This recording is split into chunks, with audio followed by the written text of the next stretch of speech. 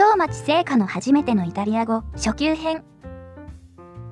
第7回動詞アベーレ。直接方言罪のアベーレで文を作る。こんにちは京町聖火です。この動画からご覧になった方はこれまでの動画のご視聴もおすすめします。すでに第6回の動画をご覧くださった方はこの動画の詳細欄に練習問題の回答を載せているのでそちらもご覧ください。第1節、動詞やベーレ。まずはじめに、今回の講義の基本例文を読み上げます。1、Quanti anni hai? 君は何歳ですか Ho 17 anni. 17歳です。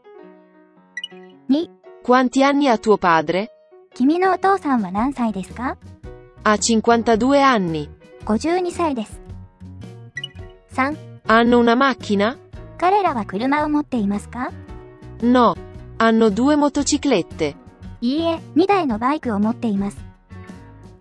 4. Ho fame. 私はお腹が空いています。Abbiamo mal di testa. 私たちは頭が痛いです。今回の講義では、例文の中で黄色い文字で表記されている基本の動詞、アベーレについて学びます。イタリア語の動詞、アベーレは、英語の動詞、ハブにあたるイタリア語です。意味も同じように、持っているです。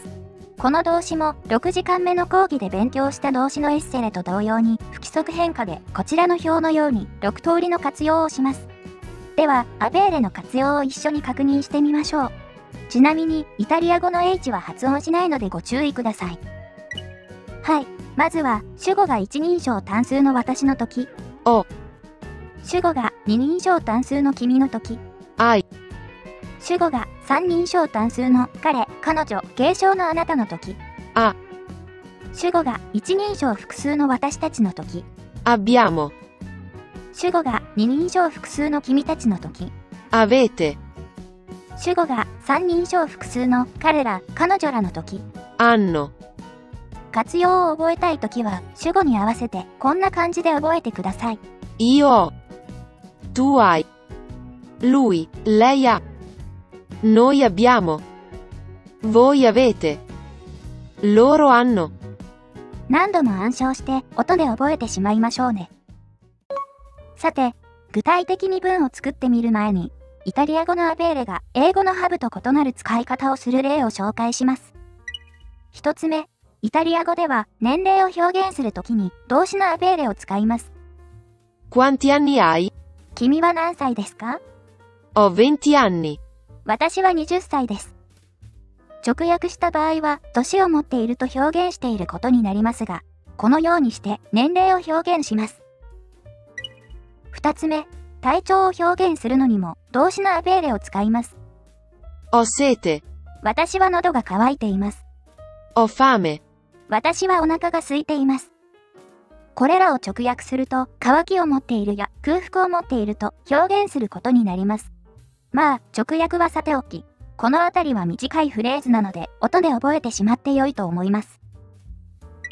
ちなみに、体の異常を表現するときも、アベーレを使います。Ho mal di testa. 私は頭が痛いです。Ha mal di stomaco. 彼は胃が痛いです。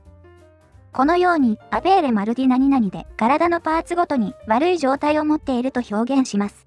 悪い状態を言う場合は、英語でもハブを使って表現するので、英語が得意な人には受け入れられやすいかもしれませんね。ではここからは、アベーレを使った文を作っていきます。1、私には2人の兄弟がいます。Ho due fratelli.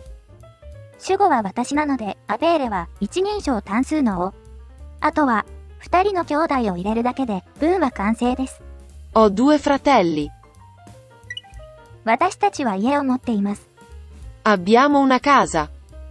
主語は私たちなので、アベーレは一人称複数形のアッビアーモ。あとは一軒家と言いたいので、ウナカーザを入れて完成。Abbiamo una casa. 3. この犬は何歳ですか？Quanti anni ha questo cane? 11歳です。年をとっています。Ha 11 anni. È vecchio. クアンティアンニのセットで何年かを聞くことができます。犬は男性三人称単数形の名詞なので、彼として扱います。つまりアベーレは、あ。返答文では、犬の彼が11歳ですと答え、年を取っていますの文では、前回の講義で勉強した動詞エッセレの三人称単数形の絵を使っていますね。Quanti anni ha questo cane? Ha 11 anni. È vecchio. 4. 君は喉が渇いているかい？Hai sete? いいや、喉は渇いてないよ。No, non ho sete. でも、お腹は空いているよ。Ma ho fame. これらは先ほど説明した体調を表現するアベーレの使い方ですね。特に難しいところはないと思うので、細かい文法構造の説明は割愛させていただきますが、この、ま、という、しかしの意味の接続語はよく使うので、すぐに覚えましょうとだけ言っておきます。5、あなたは頭が痛いのですか？Lei ha mal di testa? はい、頭が痛いです。Sì, ho mal di testa. それに、歯も痛いです。E ho mal di denti. このように体調の悪さを表現するときにもアベーレを使うことをしっかりと覚えておいてくださいね。あと、このアクセントのない A は英語の and のようなそれからの意味で使う接続語です。これもよく使うので今のうちに覚えてしまいましょう。はい、以上です。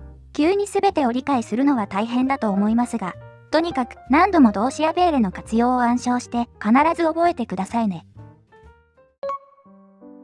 お疲れ様でした。それでは今回の講義のまとめです。動詞アベーレは不規則変化の動詞で英語の動詞ハブに相当する。イタリア語で年齢や体調を表現するときはアベーレを使う。アベーレマルディで何々が痛いという表現になる。以上です。復習をしてしっかり覚えておいてくださいね。この動画が役に立ったと思った方はコメントや高評価を。次も気になるという方はチャンネル登録をお願いします。今回の講義の練習問題はこの後に表示されます。動画を一時停止すると文字が落ち着いて読めますよ。ではまた次回の動画でお会いしましょう。